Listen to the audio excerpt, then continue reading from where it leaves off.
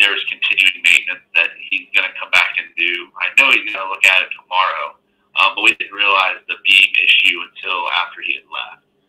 Right. So can't So- you guys just turn that off? Because you know, extremely low frequencies and frequencies in general are not healthy for any living thing. So can't you guys just turn that off?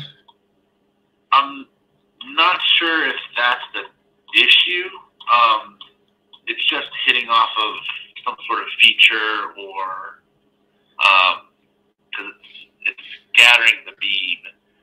So So what do you think that's doing to all the particulates up there, all the metals and aerosols and stuff? in the air, Yeah. so yeah, that's what I'm saying. The beam is being scattered.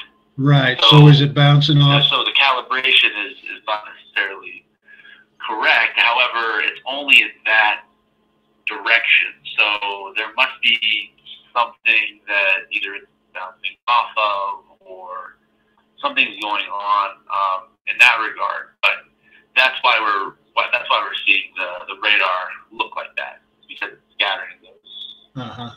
It's Yeah. scattering the beam. Now, have, may I ask you, have you ever heard of uh, climate engineering? In what regard? Climate geoengineering? You heard, ever heard of that? Geoengineering? Yeah. You ever you ever heard of that? Uh, no, I've not. Oh, you should you should do some research on that.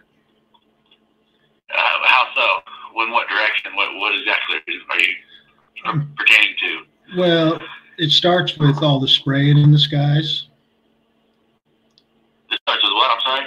spraying chemicals and aerosols, heavy metals in the skies. So cloud seeding. No, not cloud seeding. This is above cloud seeding. You've never Above heard of cloud seeding. you've never heard of climate what about weather modification? So so cloud seeding. No. Geoengineering, climate engineering, solar radiation management, SRM, That's not a thing. Uh, yes, So cloud seeding does exist. Um, ski resorts do it um, on a really small scale, but it's it costs a lot of money to do. well, If you're pertaining to contrails, that is exhaust. So it's much Uh, like your car. yeah. The induction motor. So there's a small explosion that happens in the engine itself. now that And when you're really high up in the atmosphere, the temperatures are really cold. No, So when you factor in a really warm engine and exhaust from that engine uh-huh, going into a very cold atmosphere, uh-huh. that's what occurs because that air can't hold that moisture anymore. so So that's why clouds occur and exist. could you explain to me then how how contrails are black and leave a big Uh, black never. trail?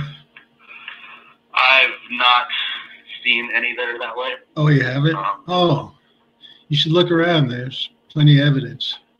Um, it- yeah, it's no secret what's going on. But the, the thing, the problem is, is we know also these next NEXRADs, Dopplers, all can be used to move all this mass that they're putting in the sky.